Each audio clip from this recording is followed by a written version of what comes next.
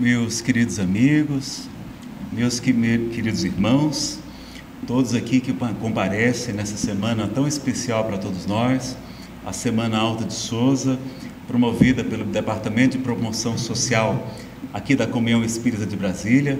Agradeço a nossa querida Maria Tereza pelo convite, a todos os, os trabalhadores dessa diretoria, todos os amigos que fazem esse trabalho tão belo que distingue a doutrina espírita não é, como realmente a mensageira da caridade, trazendo essa mensagem a todos os nossos corações.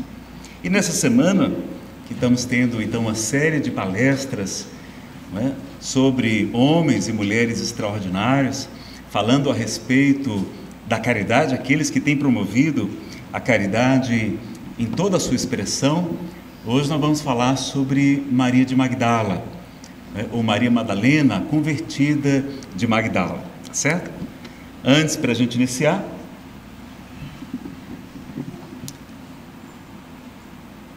é, pode colocar aqui que eu vou. A gente coloca o vídeo ao final, é até melhor porque tem mais gente no final, né? O pessoal chega depois um pouquinho atrasado. É bom que assistem, assistimos mais, mais pessoas ao vídeo. Bom, a gente vai então começar com a poesia.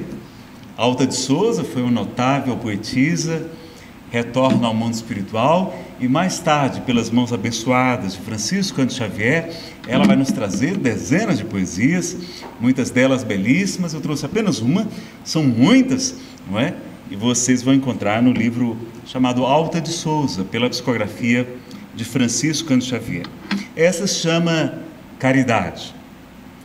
E ela então nos ensina: glorificada sejas onde fores, mão que te fazes sol, apoio e ninho, para todos os tristes do caminho, mão que recorda um lírio aberto às dores, mão generosa, mão em que adivinho a mensagem de Cristo em resplendores, mão que converte lágrimas em flores, Deus te abençoe os gestos de carinho. Nunca, te, nunca enxerguei a forma de teu culto, fito-te a luz que passa e enquanto exulto, vejo que o mundo se aproxima ao vê-la. Caridade, és o dom que nos irmana, amor de Deus na inteligência humana, uma estrela engastada noutra estrela. Então, com a poesia de Alta de Souza, depois da apresentação artística belíssima das nossas irmãs da Lídia e Jane, não é? Nós vamos então fazer o nosso estudo sobre é? Maria de Magdala, convertida, Maria Madalena, convertida de Magdala.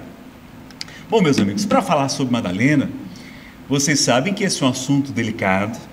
Nós não vamos fazer aqui nenhuma discussão sobre a parte da historiografia, sobre as discussões que ainda existem no meio religioso e também no meio científico sobre quem foi de fato Maria Madalena, se ela foi uma prostituta, se não foi, se, como na, na ficção de Dan Brown, no filme, não é? No livro que se tornou filme, O Código da Vinci, não é? Se Maria teve um relacionamento ou não com Jesus de Nazaré, se teve filho ou filha, como o filme nos apresenta, não é? Sara, se dali deste, surgiu a dinastia dos Merovingios, a gente sabe que até ali foi toda uma ficção, claro que também baseada em alguns documentos que foram encontrados, mas não são documentos muito antigos, são documentos mais recentes, são evangelhos considerados apócrifos, eles não são aceitos pela igreja tradicional, não é? em que pés nós temos muitas informações interessantes.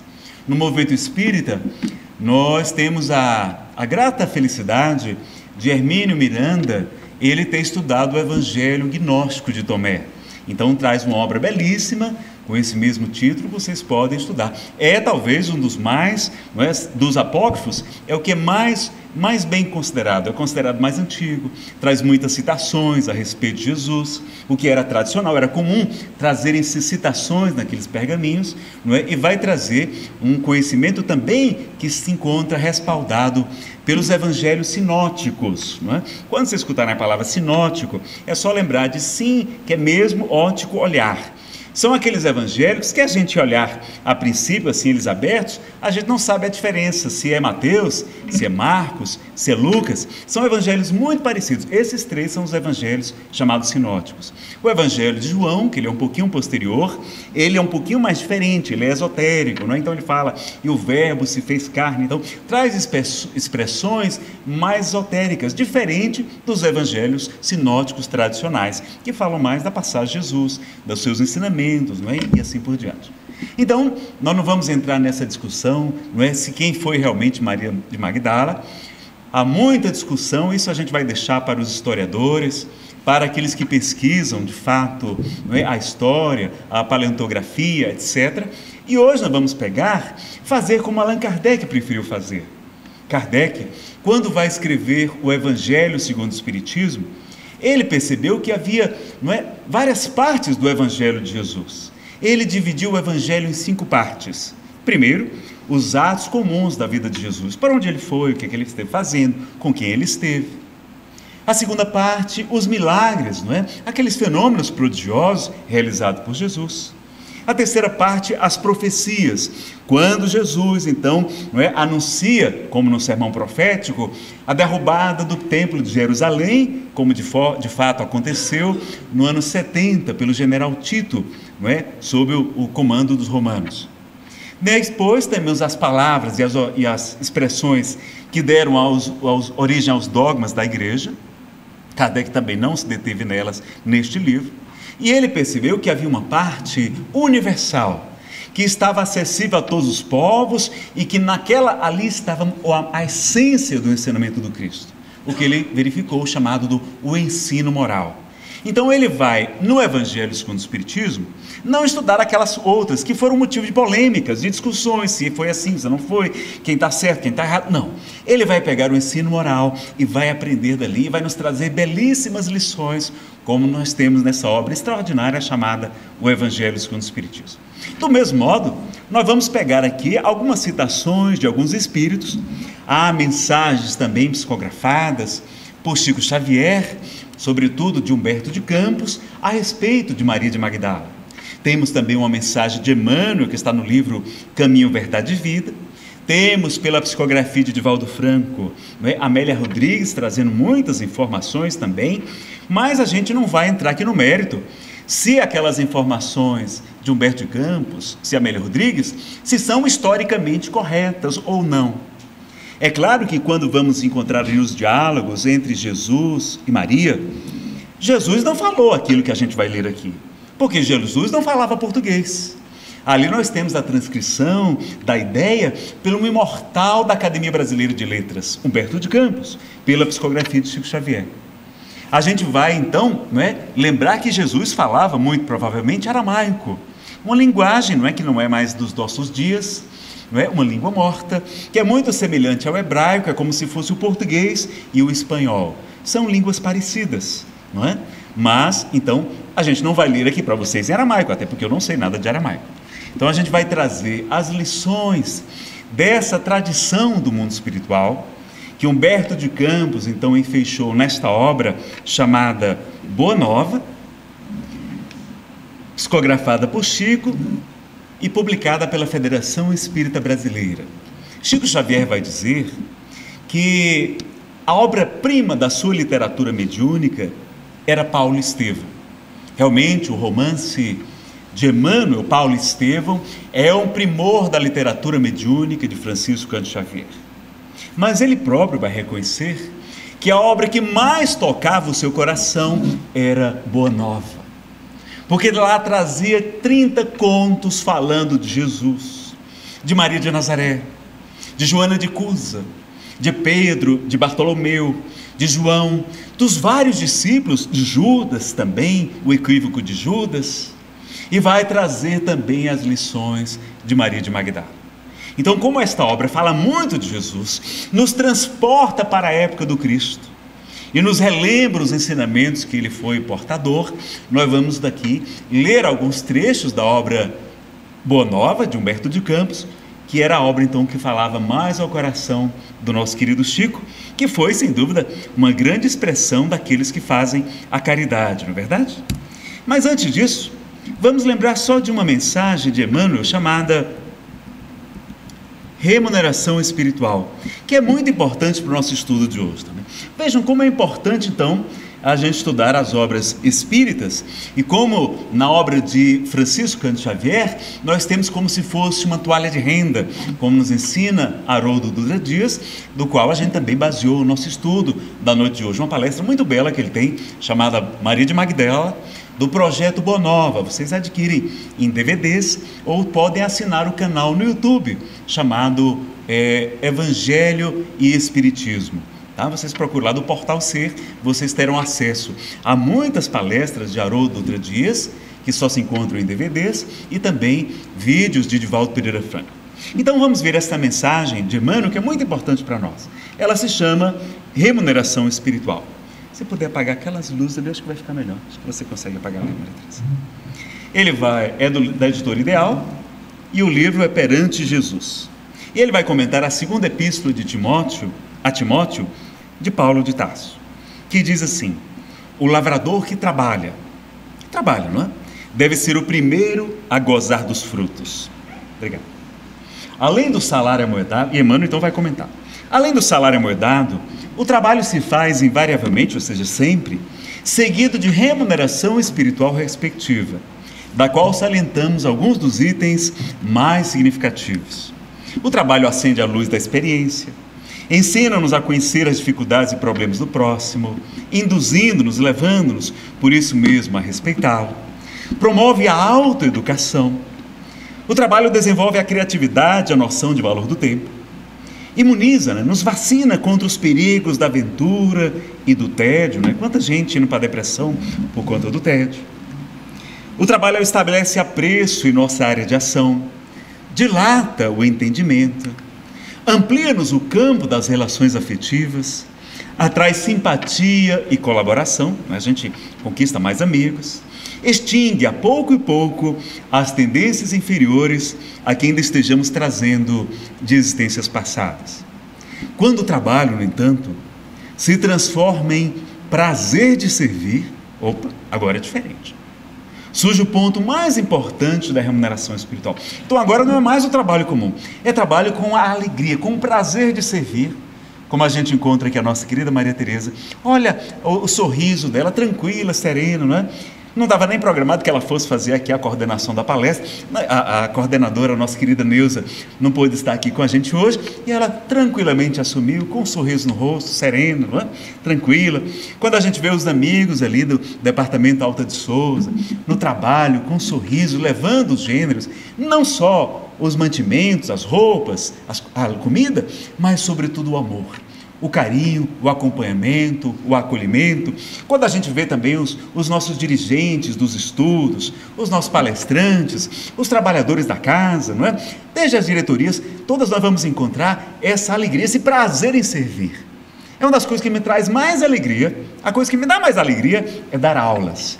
Então eu dou aulas aqui no estudo sistematizado, no ESG, que essa casa mantém não é, vários dias da semana, não é, em várias oportunidades vocês podem participar do ESG. Quem, não, quem perdeu a matrícula, participa do PADS, o Programa de Apoio a, a programa de adaptação ao estudo da doutrina espírita, o PADS, que vocês vão poder frequentar não é, a qualquer momento, sem necessidade de matrícula. Todos os cursos são gratuitos, a matrícula é só para o controle da gente, não é? e a gente vai então encontrar. Então, quando eu estou dando aulas, quando eu estou dando palestra também, mas sobretudo quando dou aulas, eu sinto aquela alegria. Quando a gente descobre não é, os talentos que o Pai nos confia, e é que a gente coloca para multiplicar, a gente melhora muito de saúde, a gente encontra sentido na vida, encontra alegria de viver. Então há uma expositora, a nossa querida Nete Guimarães, do Rio de Janeiro, que ela visitou uma instituição que havia um jovem que ele, apesar de estar fazendo um tratamento espiritual, ele não estava melhor, ele continuava deprimido, continuava tristinho. Ele disse, é? e ela vai conversar, como é que você está, meu amigo? Olha, eu estou aqui, Anete, eu estou bem, mas eu não, eu não me identifico muito com o trabalho com idosos, nem com de crianças, não é nem com de enfermos e tal. E ela disse assim, o que é que você gosta de fazer? Não, eu gosto de gato. Gato? É gatinho, gato, gato, bicho miau, aquele bichinho que faz miau. Aí ela disse, então faz o seguinte, procura uma instituição que cuide dos animais. E se ofereça para trabalhar lá, para ajudar os nossos irmãos animais.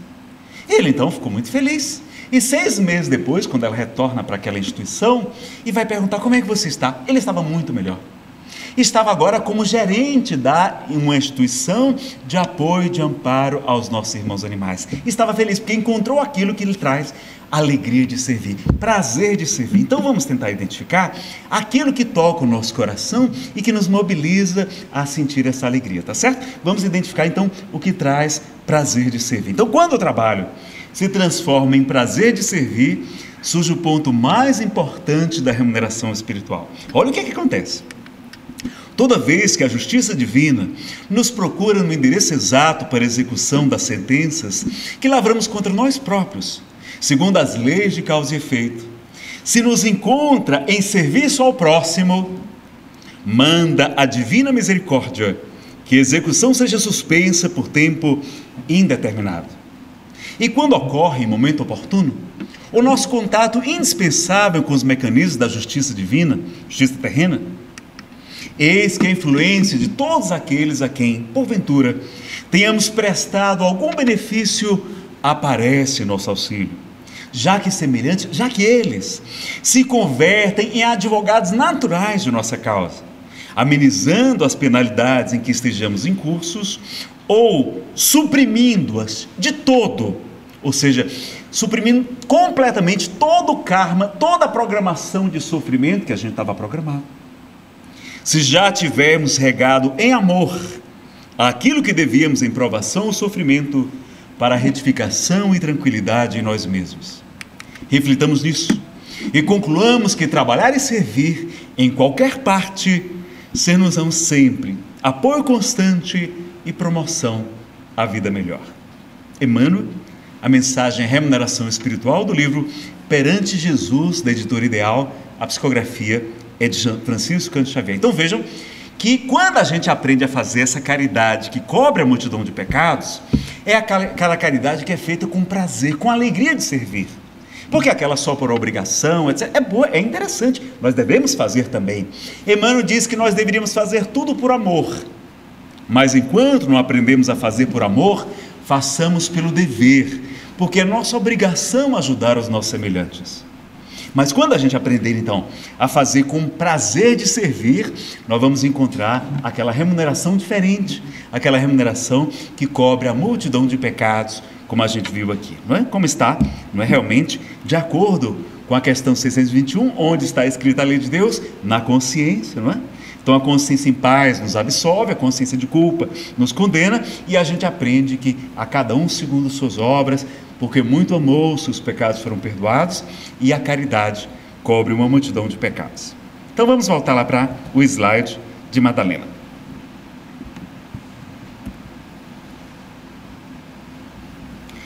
Maria de Magdala, vamos então, esse aqui é Humberto de Campos, a gente vai ler alguns trechos porque é belíssimo, é um imortal da Academia Brasileira de Letras, escrevendo com toda a beleza, não é, de que era portador na literatura. Não vamos poder ler todo o capítulo, vamos ler alguns trechos aqui para vocês.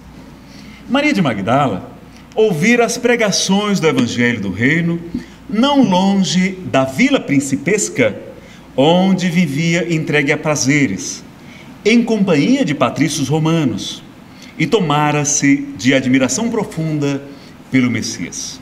Vamos fazer aqui um parênteses, não é? A gente precisa analisar, meus amigos, como é que era o contexto da época. Haroldo Dutra Dias, nessa palestra, Maria de Magdala, nos convida a estudar e a entender qual era o contexto da época. Então ele tem uma obra chamada Parábola de Jesus, texto e contexto, que quando a gente estuda não é, o que, que significa cada elemento da passagem, fica muito mais rico, muito mais interessante. O primeiro ponto que a gente tem que levantar é que as mulheres na época de Jesus é, eram ainda consideradas é, seres de segunda envergadura, de segunda categoria. Não era só no judaísmo. Às vezes a gente acha que é só culpa do judaísmo. Não. Era em toda a região. Na Grécia, na Roma, a mulher era praticamente um objeto. Então, toda a hierarquia era, era patriarcal, era dominada pelos homens. A mulher era a propriedade do seu pai. Com 14, 15, 16 anos, eles arrumavam casamento. Então hoje a gente reclama do marido, reclama da esposa, antigamente a gente não escolhia, não. Aliás, até 100 anos atrás ainda era assim, não é? Os casamentos eram arrumados, arranjados. E era o jeito a gente aceitar aquela esposa, aquele marido. Hoje, vejam que maravilha que a gente pode escolher. Não é? Antigamente não tinha isso. Né? Tinha o dote, a pessoa comprar. Então eles compravam as esposas antigamente. Houve épocas não é, do politeísmo, então, que o homem tinha várias esposas. Então era assim: ele tinha uma casa, tinha cinco cabras, quatro ovelhas, três bois, quatro mulheres, uma mesa, cinco cadeiras. Era assim, era contabilizado como se fosse um objeto. A mulher tinha que andar completamente vestida, não é? completamente coberta. A mulher não podia se dirigir a um homem estranho em público, jamais. Ela só podia conversar com aqueles da sua família. Podia até conversar com pessoas estranhas, mas se estivesse na presença de seus familiares. Tinha que andar com cabelo preso, não podia andar cabelo solto. E as palavras até da época são diferentes da de hoje. Por exemplo, quando no, Antigo, no Novo Testamento a gente vai encontrar expressões que são traduzidas como prostituta, prostituta não tem a mesma conotação que tem para a gente hoje. Porque antigamente a mulher era obrigada a casar. Se a mulher não casasse, e se ela tivesse um relacionamento com outro homem, sem ser casada, era uma prostituta. Se o marido a abandonasse, o marido abandonou a esposa, e ela fosse arrumar um outro homem, era considerada prostituta. Então vejam como ela era presa ao marido, era um, um objeto realmente de posse do seu marido. Então há uma, é, a gente precisa fazer essa explicação para entender o contexto da época uma sociedade extremamente patriarcal, é? que a mulher não é, ficava completamente subjugada. E vejam que até na própria Torá, quando está escrito lá que são necessários dez pessoas para iniciar o culto na sinagoga, é, na igreja dos judeus, eu estou sendo polido. Porque não é dez pessoas, é dez homens. Dez mulheres não servem. Cinco homens, cinco mulheres, não. Tem que ser dez homens. A mulher não tinha, não é, o prestígio como tem, tinham à época os homens. Graças a Deus isso mudou, não é? Estamos vendo aí, não é? Mais uma vez, mais uma, uma ministra, presidente do Supremo Tribunal Federal, a maior corte do nosso país. As mulheres dominando em toda parte, não é? Nos tribunais, no, no, na, no, na Câmara também, no Executivo, em toda parte, graças a Deus. Eu já tenho, já tenho combinado, tenho pedido até a Deus, olha Senhor, na próxima encarnação eu quero vir como mulher porque elas estão no poder, estão comandando tudo. Na próxima eu quero vir né, também numa posição de destaque. Se eu não for mulher, não tem, não tem acesso a mais nada, que as mulheres estão dominando tudo, graças a Deus. Né? Então, vejam que a gente tem esse, toda essa, essa, essa, essa análise que precisamos fazer sobre a época de Jesus. E Madalena, segundo as informações da tradição católica, nós sabemos que o Papa Gregório I, Gregório Magno, ele estabeleceu que Maria de, Maria de Magdala era uma prostituta, era uma mulher então que comercializava as ilusões. A gente também vai lembrar aqui de Chico, porque tudo isso tem muito ensinamento para nós. Chico Xavier não chamava prostitutas de prostitutas. Ele sempre utilizava o eufemismo benévolo. Ele chamava assim as nossas irmãs, que comercializam as energias do sexo Olha a doçura de Chico Xavier, né? É diferente da gente, né? A gente é grosseiro, é puritano, mas não é puro. Ele, com aquela sua pureza, com a sua delicadeza. Um dia ele foi contar uma anedota. Adelino Silveira nos conta que certo dia Chico estava querendo narrar uma piada, uma anedota. E começou a falar com muito carinho, muito jeito, meus irmãos e tal. Olha, havia um homem que era muito cru. E eles, como assim, Chico, um homem muito cru? Não estou entendendo, como é que é isso, homem cru? Não, é para não dizer cruel. É um homem muito cru para não dizer cruel. Então veja a doçura de Chico Xavier, não é? Outro dia ele está em sua casa e alguém querendo constrangê-lo traz uma revista dessas mulheres despidas que se chamam revistas masculinas, mas que não são revistas masculinas, são revistas de pornografia, não é verdade? E aí abriram uma revista daquelas com as moças nuas aberta na frente de Chico Xavier para constrangê-lo. E o que é que ele faz? Fica ali folhando, né? admirado, né? tranquilo. Quando termina, ele fecha a revista, devolve. Meu filho, tudo que Deus faz é lindo, não é? Olha o que é uma pessoa pura de coração e não é puritana. Se fosse talvez um dinâmico, que é isso, meu amigo? Eu sou palestrante né, da comunhão Espírito de Brasília. Tira isso aqui, não é? E no fundo querendo ver talvez as moças sem roupa. Então vejam que a gente precisa ter esse olhar diferente. E quando a gente vai estudar se Maria era ou não era uma prostituta, quando a, existe a tese de que era, e que Humberto de Campos endossa, né, porque ele traz as tradições do mundo espiritual, e para mim engrandece ainda mais Maria de Magdala. Porque mostra como nós, atrapalhadinhos, equivocados, cheios de problemas, cheios de vícios, cheios de problemas, de dificuldades, inclusive na área sexual. Podemos, como Maria de Magdala, seguir Jesus. Podemos sim também ser um dos seguidores do Mestre. Que não precisamos não é, estar pousando de santo, não, ao contrário. Jesus era criticado por isso, porque ele andava com as pessoas consideradas de má vida. Jesus vivia com prostitutas. Vivia com os publicanos. Publicanos, meus amigos, eram aquelas pessoas muito ricas, normalmente judeus, que os romanos, quando conquistavam as cidades do povo judeu, eles calculavam assim: olha, essa, pessoa, essa cidade tem. As cidades eram muito pequenas. Quando a gente escuta falar dessa época, dessas vilas, eram vilas com 40 casas, 50 casas. Os mais otimistas falam que era em torno disso. Para vocês terem ideia, não eram coisas menores, não eram cidades como a gente tem aqui. E eles diziam: olha, essa cidade aqui, a gente dá para arrecadar de tributos, de impostos, cerca de, vou colocar preço de hoje, um milhão de reais. Quem quiser pagar aí 500 mil ou 100 mil, eu vendo esse direito de você. E você vai arrecadar os tributos, você vai cobrar, tá certo? E aí aqueles homens mais ricos, ele arrematava, eles arrematavam em asta pública o direito de cobrar impostos, e eles então iam cobrar das pessoas, do seu próprio povo. Então eram detestados pelos judeus, porque eram judeus que eles consideravam que os traíam. E ainda extorquiam muitas vezes as pessoas, cobrando os impostos, além do necessário. Eram os políticos corruptos da época de Jesus.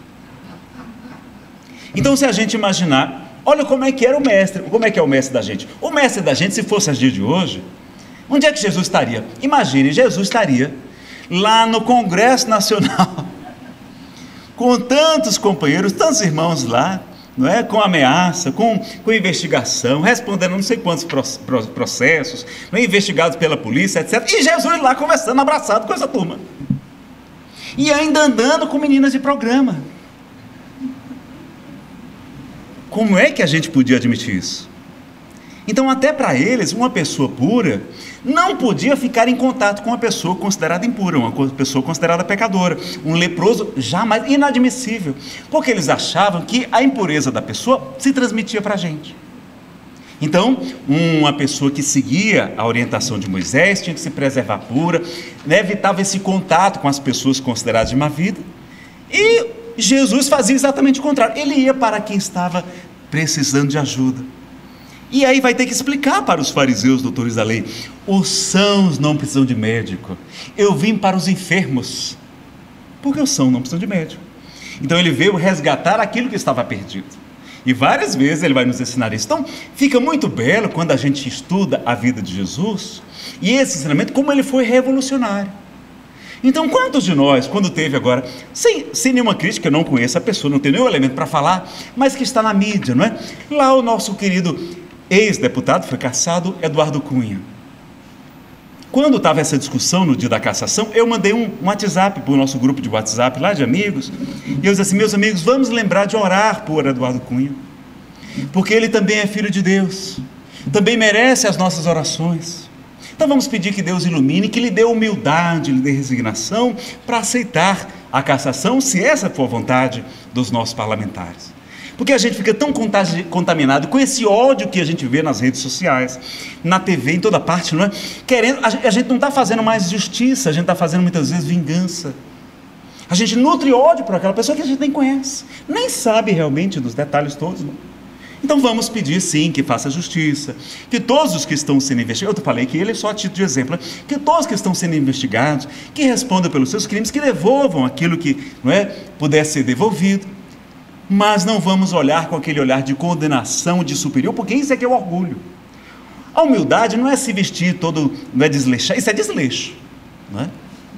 Ou às vezes a hipocrisia nossa, né? A gente ficar todo desleixado, a pessoa vai fazer um elogio. Nazareno, gostei daquela sua palestra e tal. Você falou de Jesus, trouxe poesia, tal, falou de Kardec e tal. E aí eu vou dizer, que é isso, minha irmã? Eu, eu não sirvo para nada, aquilo foi uma palestra, foi uma desgraça.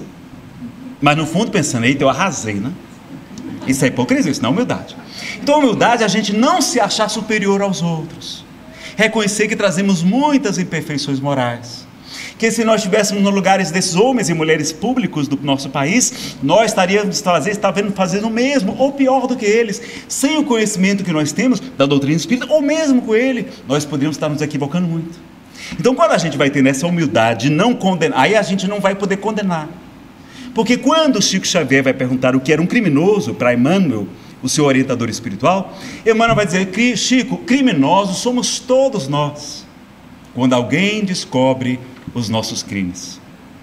Então, todos nós, no mundo de expiação e provas, com raríssimas exceções, não é? Jesus e outros espíritos é? muito evoluídos, somos ainda criminosos diante da lei divina. É porque ninguém sabe dos meus crimes, das minhas coisas que eu faço escondido, ninguém sabe. Mas no dia que descobrirem, não é? Então, aí a gente é considerado criminoso. Então a gente passa a ter essa humildade de enxergar os outros com mais amor, que é o que Madalena vai fazer. Madalena, nós vamos ver, ela vai atender os mais sofridos, os mais sofredores, depois que ela conhece a mensagem de Jesus. Então imagine, uma época em que a mulher era desprezada, não tinha prestígio nenhum, Madalena, ao contrário, vivia numa vila principesca. Vila é uma expressão para as mansões que existiam naquela época. Emmanuel, inclusive, vai narrar que ele vivia numa vila principesca na época que era um senador romano, Publius Lentulus, não é? Vocês sabem da história, está lá no livro há dois mil anos. Então ela vivia numa casa, numa mansão de luxo, entregue a prazeres. E imagine, uma mulher riquíssima, numa mansão. Como é que era a vida dela? Tinha roupas maravilhosas, roupas todas de grife, das melhores etiquetas que nós podemos ver hoje.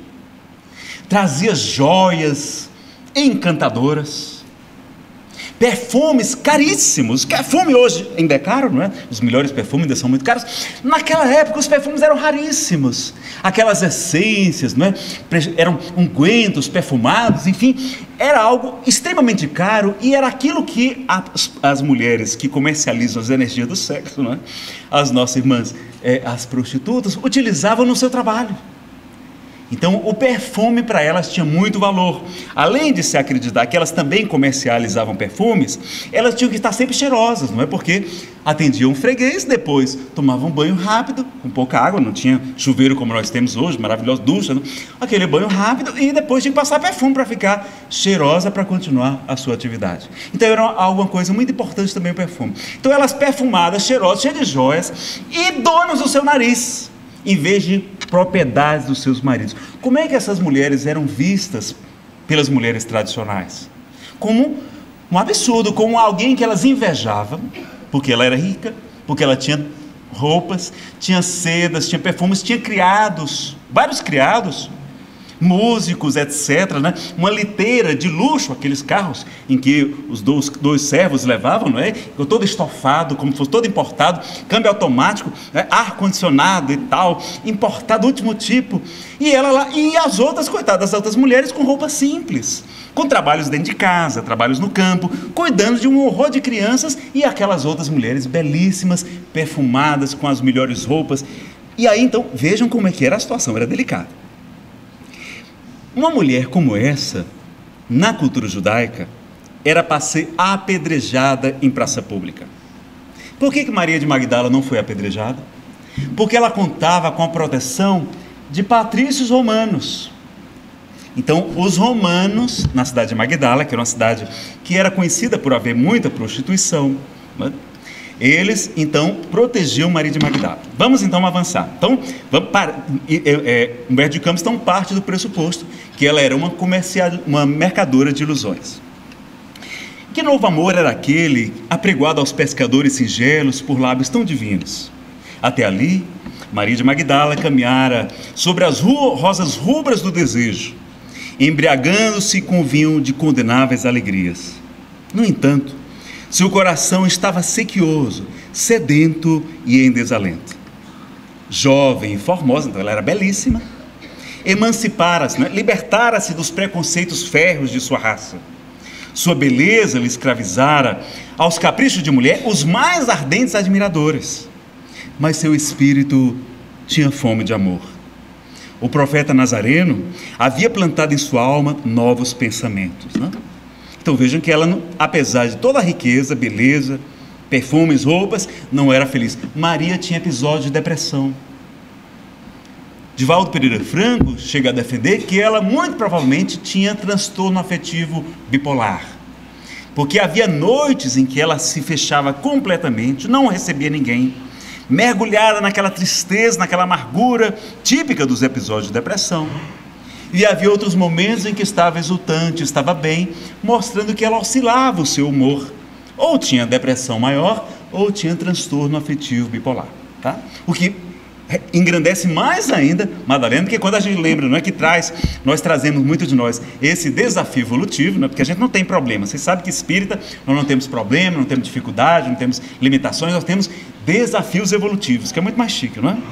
Então, em vez de reclamar do marido, da, do marido, da esposa, do filho, da filha, da nora, da sogra, a gente fala assim: Fulana, você não sabe o tamanho do desafio evolutivo que eu tenho lá em casa nesta encarnação. Eu devo ser um espírito muito nobre para Deus ter me confiado uma missão tão difícil, né? E tal. A gente sai da posição de coitadinho, de vítima, e assume a posição de é, protagonista da nossa própria história. Eu não digo mais que entre em depressão, não. Eu entro em reflexão, que é mais chique. Ou então eu fico romântico, porque eu descobri que aqueles poetas, aqueles pintores, compositores, literatos, não é? e muitos homens e mulheres extraordinárias do passado eram todos depressivos. Só que não havia a palavra depressão. A palavra depressão é uma palavra recente, é criada há poucos anos. É do século XX ela.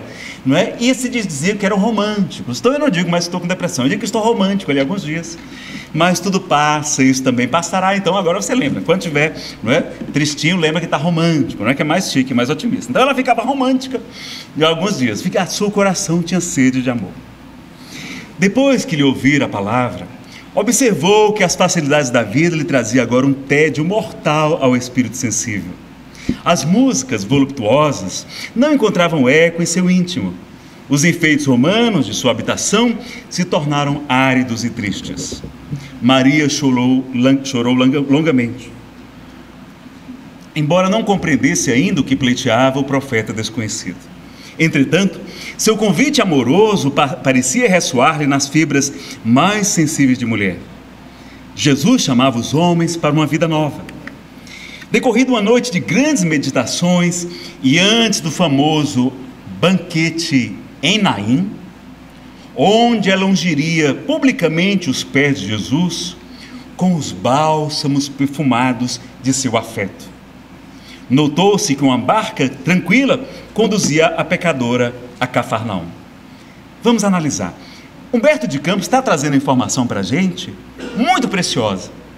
Haroldo chama a atenção. Ele está dizendo que houve uma unção que a gente não conhece, a gente sabe que houve uma unção em Betânia, mas que muitos historiadores acreditam que houve duas unções. Quando então alguém vai lavar os pés de Jesus com suas lágrimas, enxugar com seus cabelos, etc. E a gente tem que entender o contexto da época. Por exemplo, Jesus é convidado para não é, cear na casa de um homem, um fariseu chamado Simão. Esse homem era um homem importante, um homem prestigiado. E quando então é, ele vai receber Jesus, naquela época, naquelas vilas pequenas de 40, 50 casas, meus amigos, as casas eram pequeninas, não tinham muros, não tinham condomínio fechado, não tinha, era tudo aberto. E quando chegava alguém ilustre na casa de um dos, dos moradores, toda a cidade ia lá para espiar, para olhar o que está acontecendo. Quem? Aí está o profeta de Nazaré, vai estar aqui, vamos lá ver. E aí todo mundo vai lá circular. É, é por isso que Maria Magdala, e Humberto de Campos confirma, ela consegue entrar na casa de Simão, porque todo mundo tinha acesso o, o, o, o, anfitrião não tinha que arrumar comida para todo mundo, não. Eu só tinha convidado aquelas pessoas. Então, atendia os convidados e os outros ficavam ali, já tinham, já tinham jantado, estavam ali só acompanhando. Eram aquelas é, mesas baixinhas e a gente ficava é, de joelhos, com os pés para trás, como vocês veem na, na nos, os nossos irmãos japoneses, não é? talvez vocês já tenham visto como é que é aquela mesa baixinha, e a gente ficava é, virado para frente, sob os joelhos, com os pés para trás. Então entra uma mulher, não é? E vai lavar os pés de Jesus com suas lágrimas, enxugar com seus cabelos e vai despejar um vaso de alabastro. Ora, se era um vaso de alabastro, esse material já quer dizer que era uma prostituta. Porque eram elas que utilizavam esse tipo de material para guardar os perfumes. Então, vamos analisar o que, que aconteceu.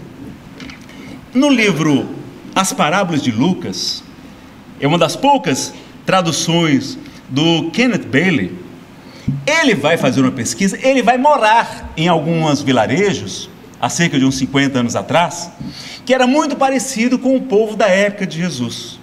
E ele foi narrar para aquele povo que tinha aqueles mesmos costumes da época do Cristo, o que, que aconteceu, para eles entenderem o que estava acontecendo. Então ele vai narrar e vai contar essa história. E eles vão ficar escandalizados, porque a regra da, do convívio social para aquele povo, muito parecido com a época de Jesus, no deserto é a pessoa tem que ser recebida, a gente tem que lavar os pés da pessoa que vem com sandálias, naquela poeira, não é? Aquele calor muito grande. Vocês estão reclamando do calor de Brasília? É muito mais quente. Então Haroldo vai caminhar do, de Jerusalém para Jericó, vai dizer que é um calor imenso. Ele caminhando, e quando chega na casa de alguém e alguém coloca os seus pés numa água fria, diz que refresca até o perispírito. A gente fica realmente refrescado, não é? Alivia, além de lavar os pés, que você está todo empoeirado, a pessoa chega, lava os pés, então refresca você. É, é um sinal, é, um, é como você dizer: olha, você é bem-vindo. Entre aqui na nossa casa, por favor. Porque imagine você convidar uma pessoa para sua casa e quando ela chegar, você. Sim, por não, diga. Eu, não, eu, não é para entrar? Não, então tá, entra. Aí, e fica em pé. Não, você em pé, não convida nem para sentar.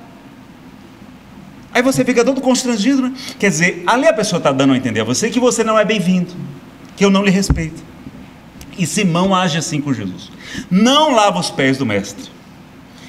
Quando também a gente recebe uma pessoa, para aquele povo, a cortesia em casa, você tem que dar um beijo na face.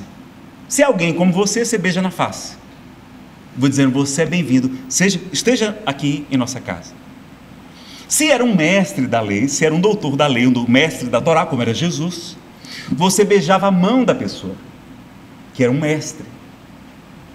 E você ungia, colocava óleo, colocava óleo perfumado no, na pessoa para que ela que estava ali chegou toda suada, toda cansada, vai colocar um perfume para ela ficar cheirosa. Pra, olha como você tá, como é que você trata um hóspede naquele tempo para aquele povo daquela época.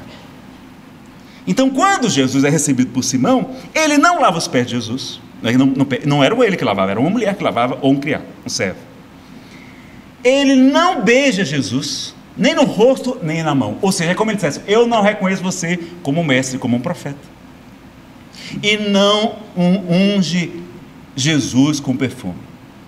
Até ali, meus amigos, Jesus estava educado, mantendo a educação como é tratado. Ninguém pode reclamar de hospedagem também, ninguém reclama. Foi maltratado, a comida não estava boa? Não, você vai comer, pode, o pão pode estar duro que nem uma pedra, você nem comeu o pão. Mas aí chega Madalena, e, e lança-se aos pés de Jesus. Então ele estava de costas, ela vai para os pés dele, chora, lava-os com suas lágrimas, enxuga com seus cabelos. Ela beija os pés de Jesus. Os pés, para o judeu, não é uma coisa pura, é uma coisa suja. Ela se acha tão impura que ela vai beijar os pés. Ela não vai beijar a mão de Jesus, ela vai beijar os pés de Jesus, todo o tempo que ela está lá. E ela pega todo o seu perfume que ela tinha, era seu instrumento de trabalho, e despeja em Jesus todo o seu perfume. É como se ali era uma, era uma mensagem, estava dizendo assim: olha, eu estou entregando tudo, a partir de hoje minha vida vai ser diferente. É como o bandido que entregar as armas. Não entregou as armas, agora a partir de hoje vai ser diferente. Então ela faz exatamente isso. E aí Simão, quando percebe que uma pecadora está tocando os pés de Jesus, o que não era inadmissível, um doutor da lei ser tocado por uma prostituta, inadmissível. Aí, o que é que ele vai fazer? Ele vai pensar: se este homem fosse um profeta, fosse médium, profeta é médium. Se ele fosse um médium, um profeta, ele saberia que esta mulher que está tocando é uma pecadora. E não deixaria, não é? E aí Jesus, até aquele momento, ele fica calado. Aí Jesus vai dizer: Simão, um homem tinha dois devedores. Um credor tinha dois devedores. Eu vou colocar, fazer mais ou menos uma comparação com o preço de hoje, para a gente ter uma ideia mais fácil. Um devia um milhão de reais para o credor. O outro devia 50 reais. Nenhum dos dois tinha como pagar. Nem que eu devia um milhão, nem o que devia apenas 50 reais. E o credor vai, meu amigo, você me deve um milhão, olha, você está perdoado, toda a sua dívida foi perdoada. Meu amigo, olha, você me deve 50 reais, não tem nenhum problema, está completamente kit, você está livre da sua débito. Qual daqueles dois devedores, vai amar mais o seu Senhor, ou seja, vai ser mais grato àquele que o perdoou.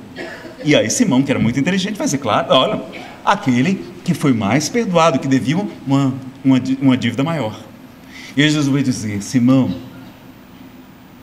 esta mulher, tu, quando eu cheguei em tua casa, tu não me beijaste, não me desse o ósculo, tu não lavaste os meus pés, não me ungiste né, o corpo. E esta mulher, desde que chegou, lava seus pés com suas lágrimas, enxuga os seus cabelos, beija os meus pés. Todo o seu perfume ela derrama sobre mim, pois eu vos digo que porque muito amou, seus pecados foram perdoados. E ainda vai dizer mais. O Filho do Homem tem o poder de perdoar os pecados, o que foi considerado uma grande blasfêmia. Então veja, ele dá uma lição em Simão e fica. Então, esse foi o encontro que aconteceu em Naim, essa unção. Então, o Humberto de Campos traz essa informação interessante. Então, depois desse encontro, como a gente vai encontrar lá no Evangelho de Lucas, não é? havia então as mulheres, algumas mulheres que seguiam a Jesus.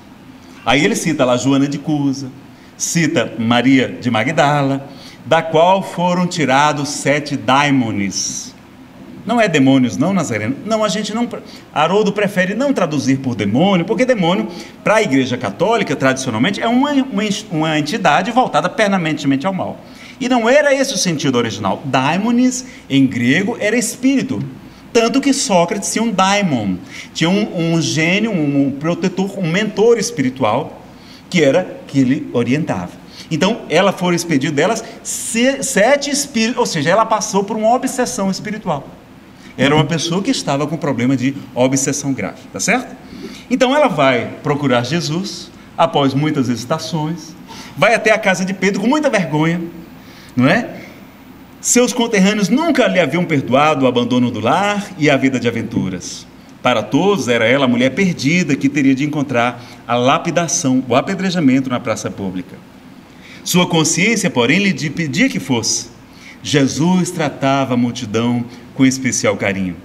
Jamais lhe observara qualquer expressão de desprezo com as numerosas mulheres de vida equívoca que o cercavam.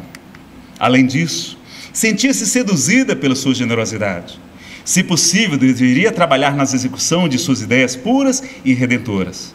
Propunha-se amar como Jesus amava, sentir como seus sentimentos sublimes. Se necessário, saberia renunciar a tudo. Que lhe valiam as joias, as flores raras, os banquetes suntuosos, se ao fim de tudo isso conservava a sede de amor. Envolvida por esses pensamentos profundos, ela vai até a, a casa da umida, residência humilde de Pedro, onde Jesus parecia esperá-la, tal a bondade com que a recebeu num grande sorriso. A recém-chegada sentou-se com indefinível emoção a estrangular-lhe o peito.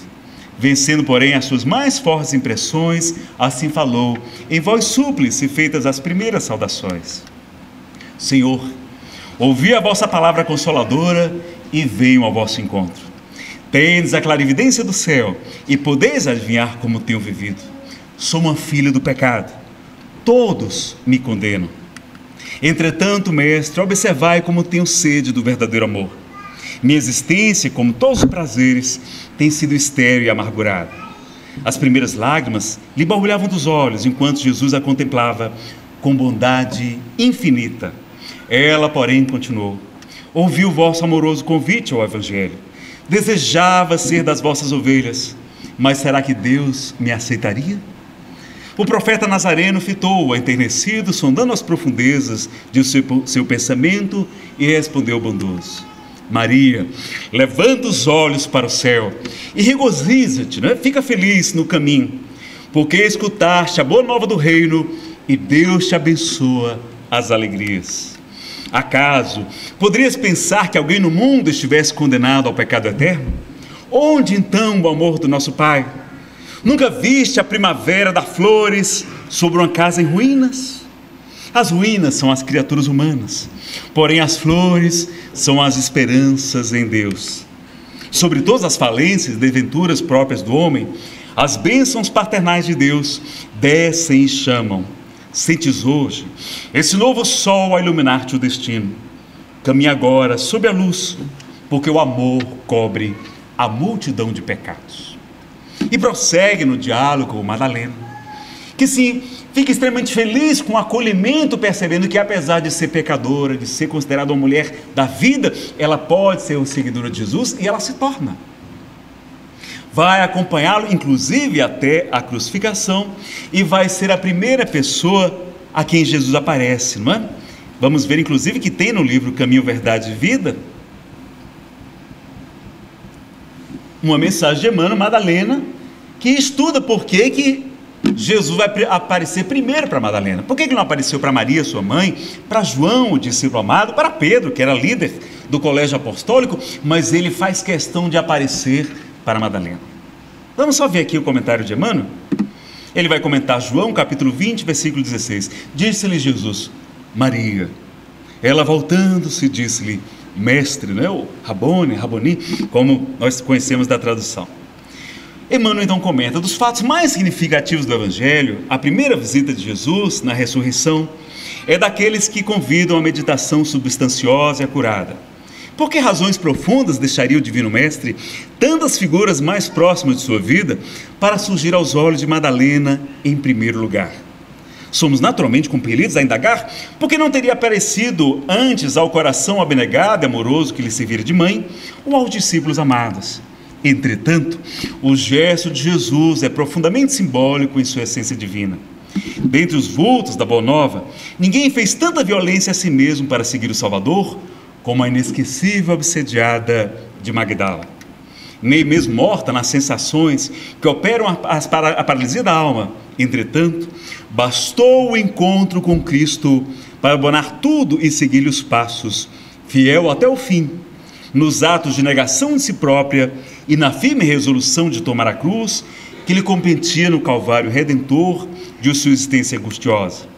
É compreensível que muitos estudantes investiguem a razão pela qual não apareceu o Mestre perante a Pedro, a João, a sua mãe ou os amigos. Todavia, é igualmente razoável reconhecermos que, com seu gesto inesquecível, Jesus ratificou a lição de que a sua doutrina será para todos os aprendizes e seguidores, o código de ouro das vidas transformadas para a glória no bem. E ninguém, como Maria de Magdala, houvera transformado a sua a luz do Evangelho Redentor. Ele vai mostrar que foi até maior, muito maior do que Paulo. Porque Saulo de Tarso era apaixonado pela lei, ele não era apaixonado pelos vícios, ele não estava envolvido com obsessões graves como Madalena. E ela então faz essa maior transformação de todo o Evangelho, e por isso Jesus aparece primeiro para ela. Como a gente lembra de Kardec quando fala dos verdadeiros espíritas, não é? Reconhece-se o verdadeiro espírita pela sua transformação moral pelo esforço que empreende em domar as suas más inclinações, as suas más tendências, pelo seu esforço. É esse que é o verdadeiro espírita. Todos nós somos espíritas, mas o verdadeiro é aquele que se esforça na sua transformação moral. Então veja que Madalena conhece Jesus, ele vai dizer: Maria, ama aos teus filhos. Naquela hora ela baixa os olhos, vai dizer: Desgraçada de mim, tenho o ventre varado mil vezes e jamais tive a honra de ser mãe. E Jesus então lhe redargue: Maria, quando eu te digo para amares aos teus filhos, é para amares aos filhos que não têm mães, a mães que não têm filhos. Porque amar o filho da própria carne é um dever imposto pela lei dos homens. Mas amar aos filhos que não têm mães, as mães que não têm filhos, é uma proposta do amor de Deus. Maria, tu não vês depois da chuva e da destruição, o sol da primavera beijar o monturo, as ruínas? e arrancar dele flores miúdas? Sim, Senhor, eu vejo. Pois assim é com todo aquele que ama. Vai, Maria, e ama. E aquela mulher, antiga rainha do sexo, Miriam de Migdol, vai fazer a maior transformação e se torna seguidora de Jesus. Depois da ressurreição, da crucificação, etc., vão chegar até a sua cidade, não é? Magdala, é, alguns eu não sei se ela estava em Magdala, me perdoem agora. Eu acho que em Dalmanuta. Chegam de, em Dalmanuta, não é? leprosos, vindo da Indumeia, procurando por Jesus, aquele profeta que curava os paralíticos, devolvia a visão aos cegos, que enxugava a lepra. Vinham de vindo de muito longe. E ela vai dizer: Meus irmãos, chegardes muito tarde, mataram-no. E ele nos deixou apenas o seu evangelho ela vai perceber aqueles olhos apagados, tristes, desalentados, retornarem muito tristes. E quando ela percebe que está sozinha, porque nenhum dos apóstolos quis acompanhar daquela mulher belíssima, daquela mulher, não é, é sensual, qual de nós teria, não é, talvez, dificuldade de estar trabalhando ao lado de uma mulher bonita como ela, cheio de desapelos? É? Então eles tinham também as suas limitações. E ninguém fica com ela e ela aceita tudo com resignação. Quando os, os leprosos chegam, ela vai com eles para o vale dos considerados imundos e vai todas as tardes falar sobre o Evangelho de Jesus, sobre as claridades do reino dos céus, para aqueles que amam, que têm resignação, que aceitam as suas provas, as suas expiações com destemor, com coragem, com esperança, porque meu reino não é deste mundo, no mundo tereis aflições mas tem de bom ânimo, eu venci o mundo. E ela vai narrando as histórias, consolando, vendo aqueles corações é, des, des, des, tristes, desprezados, o novo brilho no olhar, a esperança, a alegria. E ela encontra o, a, o, a prazer de servir, pregando o evangelho de Jesus àqueles filhos sem mães, para aquelas crianças, aquele povo perdido, não é abandonado. Até que um dia ela própria vai contrair a, contrair a lepra. É, usa um seixo, percebe no, na sua pele que não havia sensibilidade e vai então pedir, não é? vai dizer, meus irmãos, nós leprosos, e fala das claridades com extrema resignação. No finalzinho da vida, ela já muito doente, sente muita saudade de Maria de Nazaré e caminha até quando consegue chegar às portas da cidade. Desmaia, muito já idosa, já com a comida pela lepra e vai perceber então né, um, os, os, cristãos lhe atendendo, e ela vai é, sentir de minuto a minuto, ouvir-se um gemido surdo, enquanto os irmãos de crença lhe rodeavam o leito de dor, com as preces sinceras de seus corações amigos desvelados. Em dado instante, observou-se que seu peito não mais arfava. Maria, no entanto, experimentava consoladora sensação de alívio. Sentia-se sob as árvores de Cafarnaum e esperava os Messias. As aves cantavam nos ramos próximos e as ondas sussurrantes vinham beijar-lhes os pés. Foi quando viu Jesus aproximar-se mais belo que nunca. Seu olhar tinha o reflexo do céu e o semblante trazia um júbilo indefinível. O mestre estendeu-lhe as mãos e ela se prosternou, exclamando, como antigamente: Senhor, né? Rabone. Jesus recolheu-a brandamente nos braços e murmurou: Maria, já passaste a porta estreita, amaste muito, vem, eu te espero aqui. E então Maria de Magdala retorna ao mundo espiritual, vencendo a porta estreita, que é só uma porta, né? depois tem um caminho, não é? Então isso é apenas uma porta para passar, não é? E depois aquele caminho reto com Jesus de Nazaré. Porque muito amou, seus pecados foram perdoados. O Filho do Homem tem o poder de perdoar os pecados, a cada um segundo suas obras, não é? Então por essa razão eu te digo, seus numerosos pecados estão perdoados, porque ela demonstrou muito amor.